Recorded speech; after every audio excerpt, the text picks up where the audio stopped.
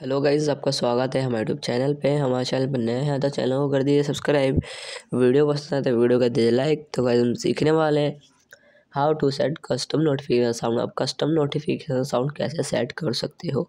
Guys आपको custom notification sound set करना नहीं आता है तो वीडियो देख के आसानी से सीख सकते हो कि हम कैसे इसको सेट करें।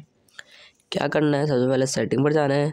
सेटिंग पर जाने के बाद एक ऑप्शन दिख रहा होगा साउंड का। तो साउंड वाला ऑप्शन में सिंपली क्लिक कर देंगे।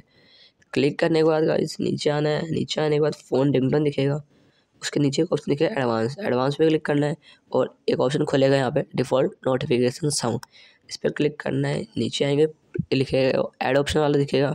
ऐड नोटिफिकेशन पे क्लिक करके यहाँ से आपके फ़ाइल में जो भी मतलब रिंगटोन डाउनलोड कर रखी होगी वहाँ पर सिंपली क्लिक करके उसको ओके, पे क्लिक कर देंगे तो यहाँ से आपका कस्टम नोटिफिकेशन साउंड सेट हो जाएगा। आई होप का आपको वीडियो अच्छी लगी वीडियो अच्छी लगी तो वीडियो को दीजिए लाइक चैनल को दीजिए सब्सक्राइब को। मिलते हैं ऐसे इंटरेस्टिंग वीडियो के साथ। तब तक के लिए बाय बाय